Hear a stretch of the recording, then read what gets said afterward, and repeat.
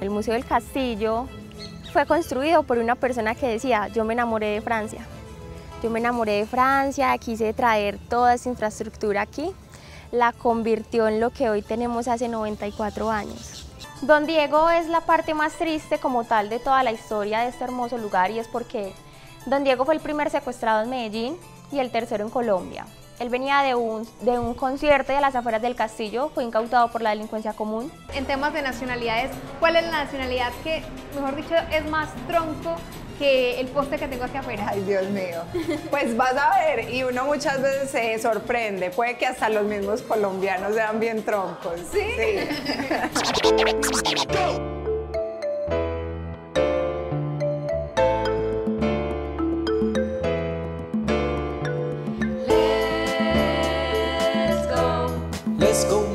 Medellín. Let's go Medellín. Let's go Medellín. Let's go Medellín.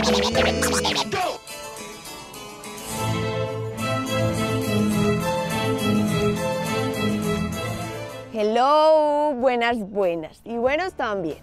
Hoy los saludo desde la Comuna 14 de Medellín. Sí, señores, estamos específicamente en el Poblado. Acá, hombre, usted se puede encontrar de todo, pregunte por lo que no vea. Hoteles, restaurantes, bares, discotecas, tenemos el Parque El Poblado, la Milla de Oro, el sector Provenza, el Parque Lleras. Sin duda alguna, entonces es un sector que se destaca por la rumba y por la gastronomía. Una de las mejores opciones para que usted venga entonces en la noche y visite este sector. Les voy a ir mostrando más o menos en dónde estoy para los que conocen, los que han venido, se vayan haciendo entonces una idea. Mientras tanto les voy a contar eh, un poquito sobre la, sobre la historia del poblado. Tenemos entonces que por allá en el 1616, cuando se fundó entonces Medellín, en lo que hoy es el Parque Berrío, el poblado era esa zona rural, más bien de abastecimiento para esos nuevos pobladores de Medellín. Con el paso del tiempo, entonces ya la gente dijo que rico una finquita de recreo, vámonos para el poblado. Era más entonces de esa finca, de esa zona rural. Y a mediados entonces de los 50, más o menos sí, 1950, se fue convirtiendo entonces en esos hogares, en las casas de las personas más pudientes de Medellín, lo que todavía se conserva entonces el día de hoy. El Museo del Castillo fue construido por una persona que decía, yo me enamoré de Francia. Yo me enamoré de Francia, quise traer toda esa infraestructura aquí, la convirtió en lo que hoy tenemos hace 94 años. Se ha conservado hace 94 años como infraestructura y como historia lleva 50 años. Además de eso, es muy bonito porque aquí encuentras cualquier tipo de cultura, de cultura, de arte, te acogen muy bien y puedes disfrutar de todos los entornos en familia. Es un estilo, ¿qué? ¿Gótico medieval? Gótico medieval, sí. El fundador se inspiró en Francia, en los castillos del Valle del Loira. Entonces él decía, yo quiero tener un castillo. Esta era la casa campestre de él, ni siquiera era la casa. Lo construyó con la primera firma constructora de Medellín, H.M. Rodríguez. Fue la primera que hizo todo esto, ni siquiera fue un francés, sino que fueron los mismos colombianos. Enterándonos entonces de datos curiosos, les voy a ir mostrando entonces al fondo esta estructura. ¿Sabes más o menos cuántos metros de pronto hay de jardines? De jardines hay alrededor de 4.000 más o menos. Bueno, a falta de patio, entonces 4.000 metros tenemos acá. Entonces, y 7 hectáreas en total. O, o sea, unos 70.000 metros más, más o menos. O menos.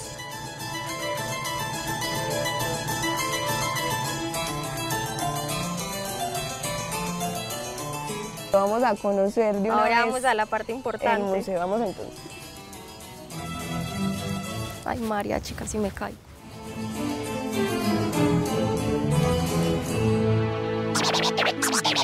¿Qué tan importante es aprender a bailar? En esta ocasión, para nosotros los latinos es prácticamente una obligación. Así que vayámonos al fútbol, por ejemplo. ¿Cómo lo mueve Neymar? ¿Cómo lo mueve Cuadrado o Mina? Empiezan a, a menear y se nota incluso en el fútbol cómo nosotros los latinos sabemos bailar y mover el cuerpo. Así que en esta ocasión veamos cómo en el poblado se aprende a bailar.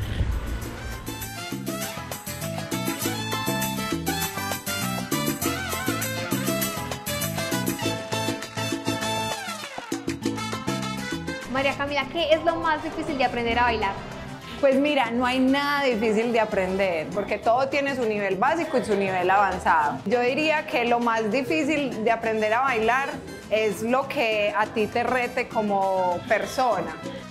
Tenemos un intercambio cultural muy interesante, tenemos muchas personas locales que vienen interesadas sobre todo eh, por las clases grupales y tenemos un flujo grande de extranjeros que viene un poquito más interesado en clases privadas. Bueno, pero dejémonos de vainas. En temas de nacionalidades, ¿cuál es la nacionalidad que, mejor dicho, es más tronco que el poste que tengo aquí afuera? Ay, Dios mío. Pues vas a ver, y uno muchas veces se sorprende. Puede que hasta los mismos colombianos sean bien troncos. ¿Sí? y de los géneros, ¿cuál es el género más apetecido? La salsa y la bachata. Sí, por excelencia. Antes de irnos con una muestra de este tipo de género, cuéntame por qué es tan importante aprender a bailar. Mira, eh, el baile es el, mejor ejercicio que uno puede hacer porque estimula cuerpo, mente y corazón. Esa es la, única actividad que te va a dar una, una felicidad mucho más completa.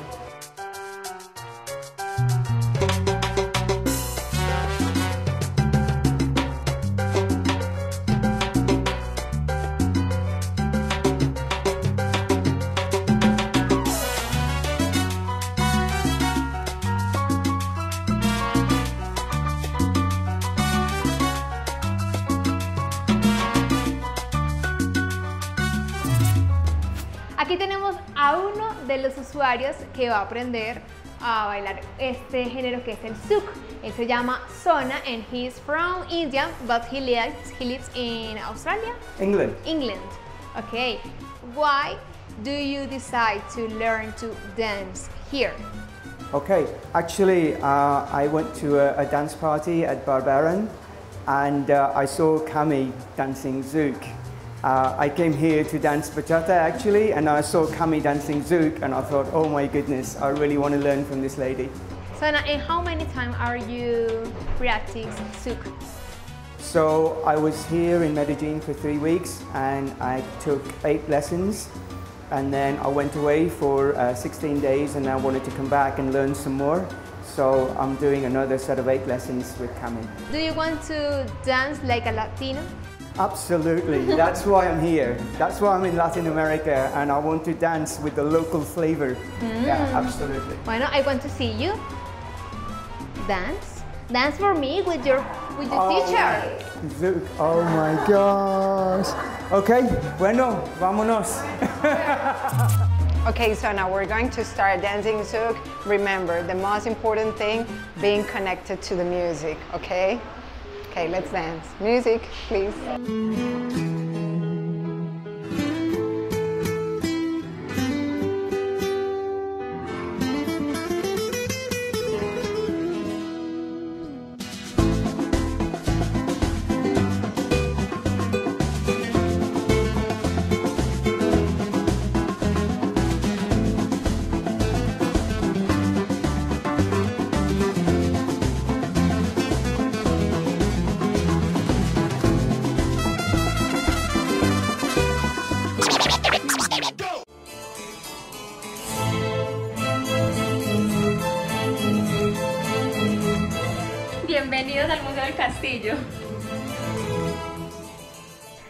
Museo del Castillo lo construyó José Tobón Uribe, el fundador de las farmacias Pasteur.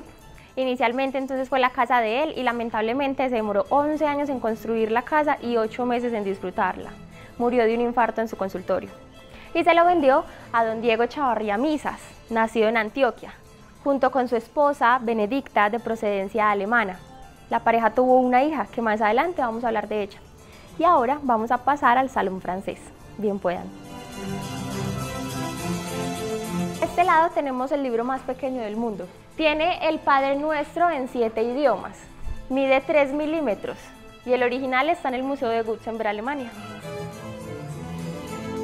Y acá las fotografías de la familia. A este lado sería el salón de música y a don Diego le gustaba demasiado Beethoven. Hay dos bustos de él, en bronce por Antoine Bourdel y en mármol por H.M. Sos.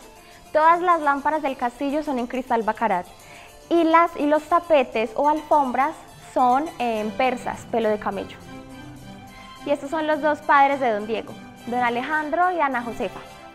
Fueron los fundadores de las textileras Coltejer, Fabricato, Tejicóndor y el Hospital Fundación San Vicente de Paul y hasta el amparo infantil que queda acá en el poblado Santa Ana.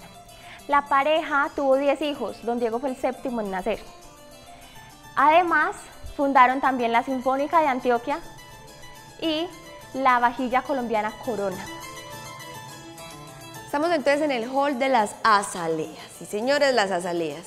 Bueno, aquí entonces podemos ver todavía muchas más manifestaciones de arte, incluso me venías contando de las paredes un poquito, cómo... Todos los baldocines son sevillanos y son pintados a mano, en alto y bajo relieve.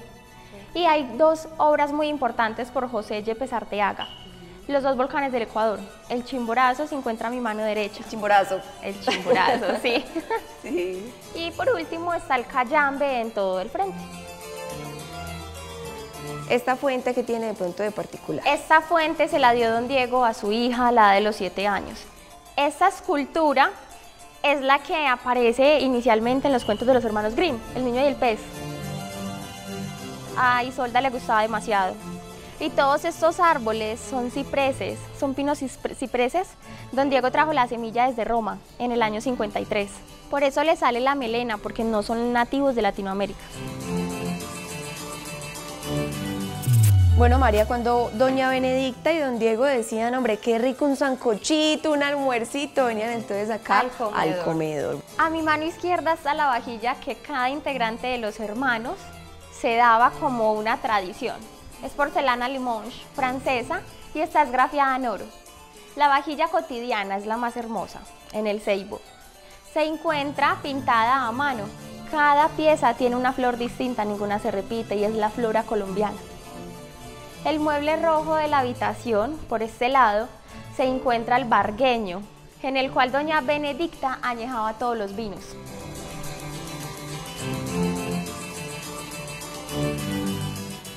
Este es el salón del té o de los gobelinos.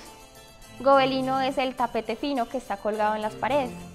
Y el vitral principal de la habitación es el del centro. Este es el pasaje de ópera, una obra de amor de Tristán e Isolda por Richard Warner. De ahí don Diego se inspiró para el nombre de su hija Isolda Echavarría, por esta obra de amor. Y las cucharitas que están en el centro son todos los viajes que realizó la familia. Cada una tiene algo representativo del lugar que fue adquirida. Y en las dos vitrinas tenemos una colección de 650 cucharas. Son donadas por Ángela Calle, una amiga de la- cercana a la familia.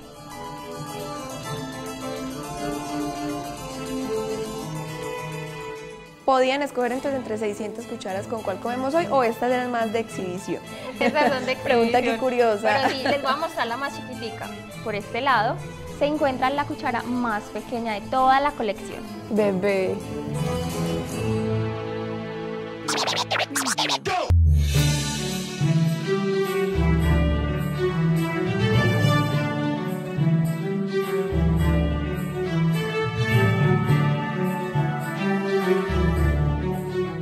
Barrio Manila se caracteriza por su gran oferta gastronómica.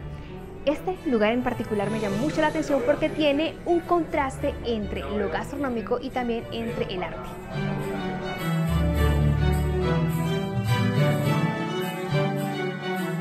Tal cual como lo podemos ver acá, encontramos un contraste de pinturas, de arte con comida. ¿Cómo fue esa fusión para ustedes poder llegar? Bueno, vamos a tener dos formatos. Este espacio es muy acogedor y veíamos que la gente no venía a comer y solo irse y ya.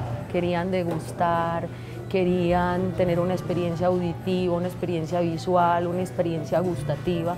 Entonces, de esa manera como que fuimos eh, organizando este concepto. Y lo más particular o lo más llamativo, ahora que lo tengo por acá, Ay, ahí me va, es que la persona que se muestre muy interesada en una obra de arte, La puede adquirir. Exactamente, Tal cual, puede adquirirla y puede incluso entrevistarse con el autor de la obra. cada tres meses, eh, escuché yo, me enteré por ahí, que tienen una especie de especialidad, por Sí. decir, o ofrecen un plato de un lugar internacional que no sea específicamente de Colombia, porque como ustedes saben, aquí en el poblado se caracteriza mucho este sector de Medellín por recibir bastantes extranjeros, así que lo que ellos buscan es poder encontrar platos no específicamente locales, sino también que los pueda trasladar a otro lugar del mundo. Bueno, cada tres meses, cada tres, cuatro meses vas a poder encontrar un artista. También tenemos eh, la temporada española. ¿En qué consiste la temporada española? Vinos españoles y unos platillos especiales para maridarlos. ¿Qué tal si ahora sí nos vamos con un poquito de degustación? ¿Por qué me vas a sorprender? Bueno, Catalina, imagínese que nosotros tenemos un plato ícono de la casa que es un solomito encostrado a las tres pimientas sobre una reducción de vino tinto. En un mes o 15 días vamos a lanzar la temporada francesa. Y uno de los platillos especiales que tenemos para nuestros comensales es una deliciosa, deliciosísima codorniz. Doña Carmen ya me dio una entrada espectacular con eso que nos vamos a comer. Ahora sí, venga, degustemos.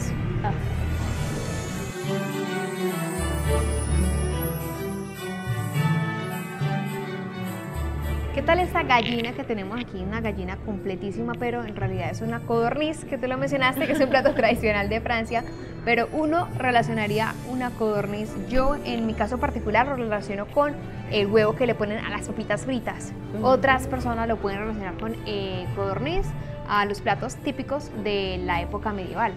pero, perfecto. ¿qué es la codorniz?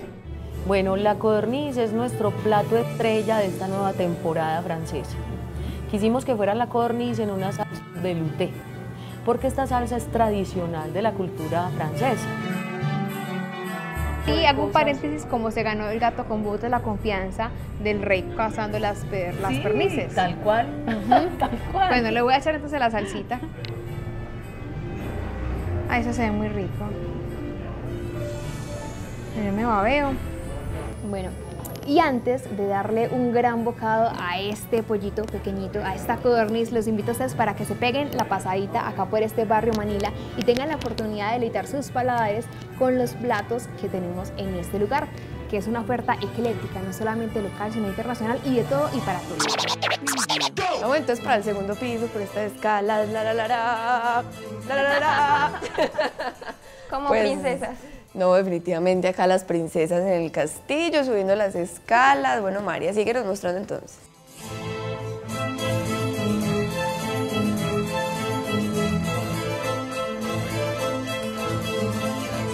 Es la habitación de Isolda. Isolda nació en el 1947. Fue criada con la pedagogía Waldorf, estar en casa con una institutriz. A los siete años ya sabía pintar, tocar el piano, el violín y bailar ballet. A los siete años. A los siete añitos. Su madre implementó toda esta pedagogía en la ciudad de Medellín.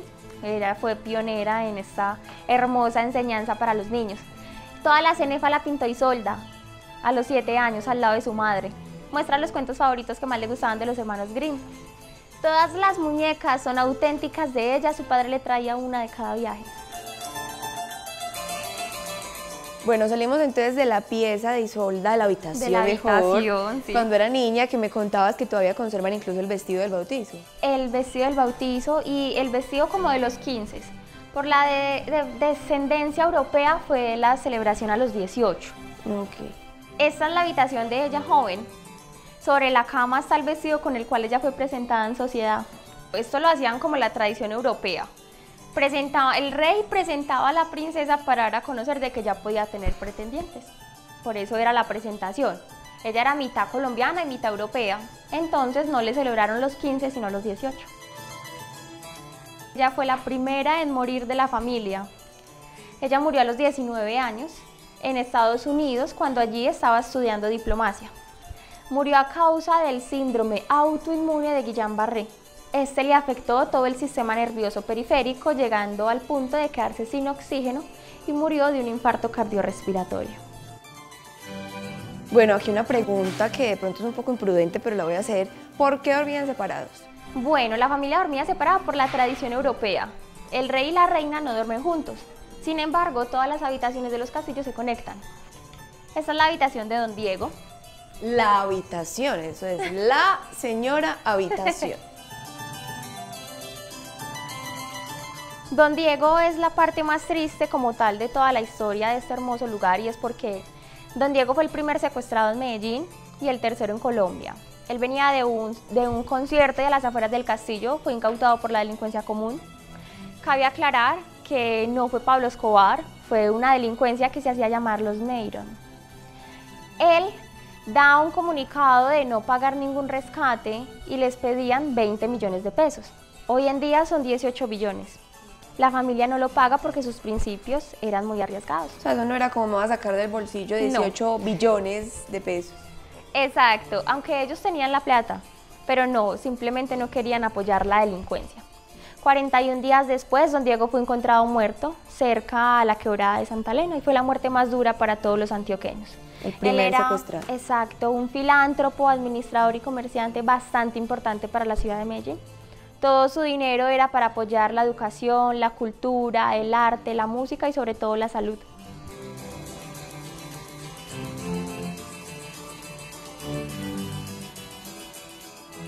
Y Benedicta fue la última en morir de la familia. Murió a los 89 años De vejez. de vejez ya de causas naturales. Ella murió en Alemania. Luego de la muerte de don Diego, ella pasó pues como tal a vivir al lado donde se venden los tiquetes y luego se fue a Alemania a visitar a su única familiar que le quedaba con vida a su hermana y allí murió. Allí está enterrada y fue la alemana más querida por todos los países. Desde un inicio dijeron, la casa va a ser un museo. Estaban las escrituras, todos ya sabían, el gobierno lo respetó, los hermanos de don Diego respetaron también toda esta decisión. Ahora el castillo es una fundación sin ánimo de lucro. María, cuéntanos eh, de pronto los horarios, las tarifas, para que las personas que nos están viendo puedan venir. Nos encontramos abiertos al público de lunes a viernes de 9 a 5 de la, de la tarde. Además, los fines de semana nos encontramos de 10 de la mañana a 5 de la tarde. Acá nos despedimos entonces desde el Museo del Castillo con nuestro cafecito. Sigan con más en Lesco.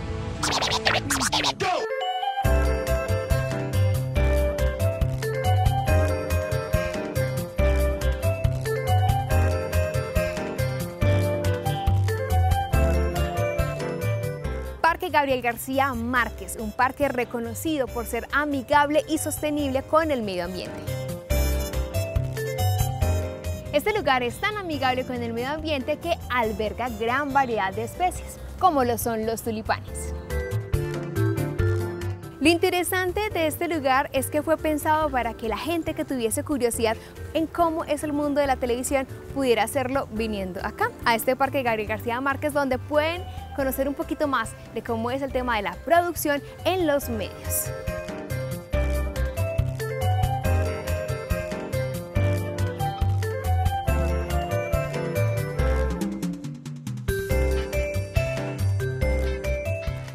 Eran muchos los clientes que acudían cada domingo a disputarse el telescopio por el puro deleite de probar los frutos insípidos del cercado ajeno. El amor en los tiempos del cólera 1985. Este parque, como su nombre lo indica, tiene el nombre de Gabriel García Márquez. Este reconocido escritor colombiano ganó el premio Nobel en literatura y como tiene su propio nombre en el parque, también tiene lugares que tienen frases de libros que hacen alusión a este gran escritor.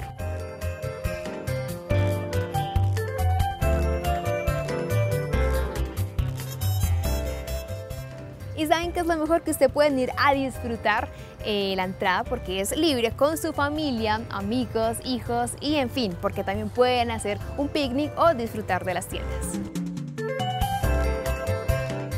Cómo olvidar los espacios dedicados para los niños. En este lugar, los chicos pueden tener unas grandes aventuras mientras los papás se dedican a comer por allá.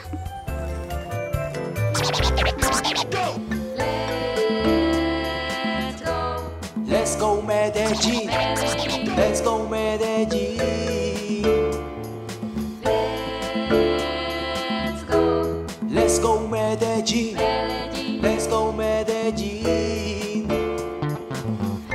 Diciembre la playa se vistan de colores y en agosto las calles se nos llenen de flores. Que la gente que es buena se sienta en los balcones y los rojos y verdes enfrente sin temores, campesinos y ancestros nos seremos. El anterior programa llegó a usted por cortesía de Coordinadora.